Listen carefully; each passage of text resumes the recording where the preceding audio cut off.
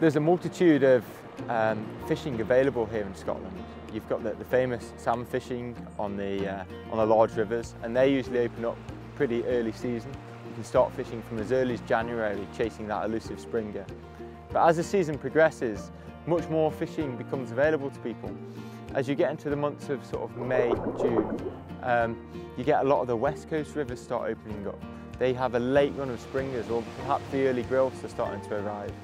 And then all the way through the summer months, you've got all the, the big rivers, the big famous rivers fishing, and you've got a multitude of almost unknown rivers also fishing their socks off.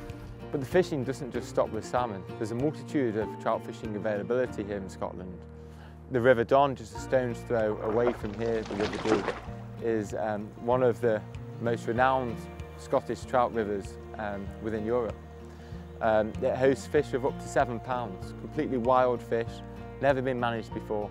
And there's lots of estates which offer cheap, affordable fishing on this river. Other rivers like the, the Upper Tay, the Tummel, the Teviot and the Upper Tweed are all host some world-class trout fishing uh, opportunities for an angler that wants to pursue them. But it doesn't just stop there.